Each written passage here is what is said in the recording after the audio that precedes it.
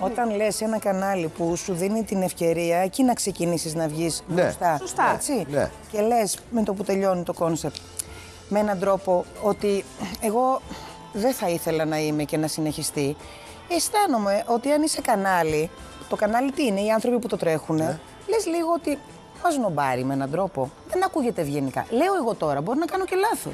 Ε, και σχολιάστηκε Άρα ο γι' αυτό φιλότροπος. αναρωτιέμαι, ε, δηλαδή, άκουσε, Έτσι, ξέρω πώς Ρωμά, να το έτσι πω. ακούστηκε, έτσι ακούστηκε. Έχει δύο αναγνώσεις. Το ένα είναι ε, τύπου δεν την ξέρω τη δουλειά. Γιατί το live πρόγραμμα και η παρουσίαση, παιδιά, επειδή νομίζει όλος ο κόσμος ότι είναι έτσι απλά. Ότι έρχεται ο κόσμος, βάφεται, βγαίνει και είναι όλα οκ και άνετα.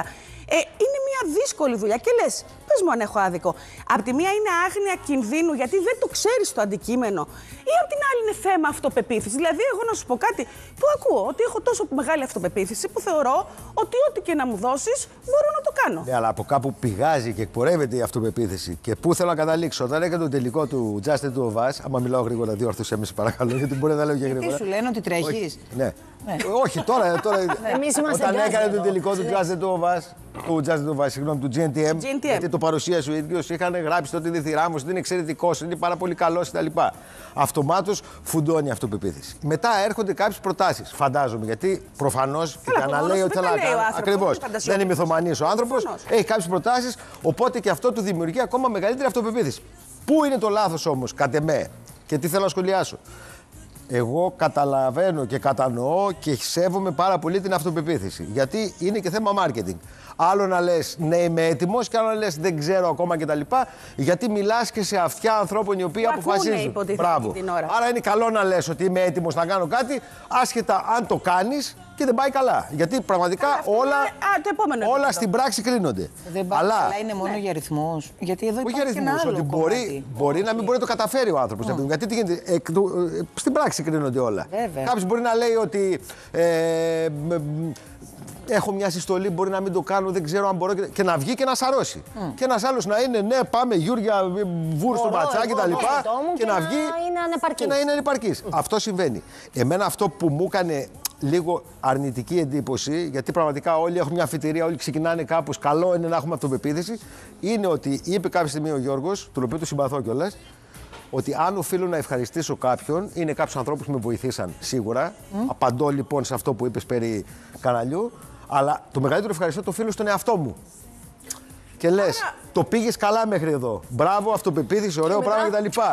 Αλλά Άκουμε. όταν λες, θέλω να ευχαριστήσω τον εαυτό μου γιατί έχω δουλέψει και τα λοιπά. Και εγώ έχω δουλέψει με τον εαυτό Γι' μου. αυτό Και εσύ σου φαντάζομαι. λέω. Αλλά δεν θα βγω να πω ευχαριστώ στον εαυτό μου. Έτσι, παιδιά, κάτι. να Κατάλαβες σας πω τώρα, κάτι ναι. για να το πει.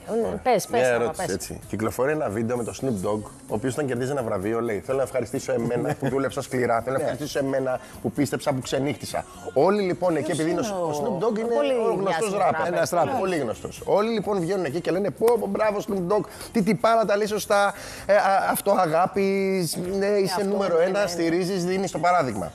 Όταν βγαίνει λοιπόν ένας εγχώριος στάρ εδώ, αυτομάτως πέφτουμε να τον φάμε και λέμε ότι αχ, Δεν τον την τρώει είδη υπερόπτηση και κανένας, ρε τέτοια. παιδί μου. Μισό λεπτό ρε παιδιά. Μα δεν Εγώ το τρώει συμφωνώ, κανένας. συμφωνώ με τον Σάβα. Η Δεν αγάπη είναι- για τον εαυτό μας και το ευχαριστώ στον εαυτό μας και τον μπράβο στον εαυτό μας είναι το πιο σημαντικό πράγμα που μπορούμε Ε, να παιδιά, κάνουμε. αυτό. Ναι, απλά όλοι υπάρχει χαίρονται μια- να διακρίνουν τα Παιδιά, παιδιά. έχει και μια άγνοια κινδύνου. Αλλά ρε κάνεις παιδιά, και το αυτό. Τώρα, λες. συγγνώμη, κάνουμε ότι δεν ξέρουμε. Ένας άνθρωπος που δεν το έχει κάνει αυτό δεν ξέρει πώς γίνεται. Είναι κακό να το πούμε ότι υπάρχει άγνοια κινδύνου. Όχι, όχι. Αν είσαι Καλά, μαζεμένος, αναλόγως. θα κάνεις- Αναλόγως. Μισό λεπτό. Αυτό εκεί πέρα υπάρχει μια πολύ λεπτή γραμμή μεταξύ ε, αυτογνωσίας, Ναι. αυτογνωσίας Ναι. Και... Και υπεροψίας. Και υπεροψίας, μπράβο. Παιδιά, Είναι μια λεπτή γραμμή. Λες για το πράγματι, αλλά Snoop απ' την Dogg. άλλη- Ο Snoop Dogg επειδή είσαι καινούργιος είναι ο στο Snoop Dogg. Δηλαδή, άμα βγει με νεγάκι και πει ευχαριστώ τον εαυτό μου, θα πω μπράβο, Όχι, το πει η όχι, Ελένη. δεν θα πούνε Οκ. μπράβο, δεν θα πούνε καθόλου Μισό μπράβο. λεπτό. Έχει δίκιο. Θα πει ότι έχει 30 χρόνια καριέρα. όχι, ε, κάποιες- φίλε, Που και θα που βρεθούν και αυτό. καλοθελητές που θα κράξουν και την Ελένη και σένα και εμένα και όλους, ξέρεις. όποιος και να είναι. Εγώ, Αλλά αυτός που κράζει εγώ- δεν έτσι κι αλλιώς. Θα βρει μια. η Ελένη να το έλεγε Ναι, θα ναι, θεωρούσα υπάρχει ότι είναι λόγος. λάθος που το λέει. Τόδα. Ε, ωραία. Η Ελένη να το έλεγε θα θεωρούσα ότι είναι υπεροπτικό να το λέει κάποιος ευχαριστώ τον εαυτό μου.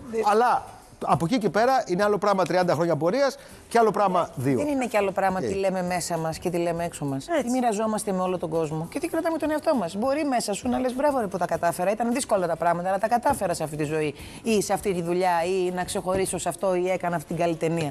Αλλά το λες από μέσα σου. Έτσι. Άντε να το πεις και στον άντρα σου. Καλά τα πήγες. Στην κολλητή σου να κάνεις μια διάλογο. Δεν ξέρω. Δημόσια βγαίνεις και λες μπράβο μου, μπράβο μου, μπράβο μου. Ξέρω εγώ. Ε, παιδί, Είναι ε, λίγο είναι-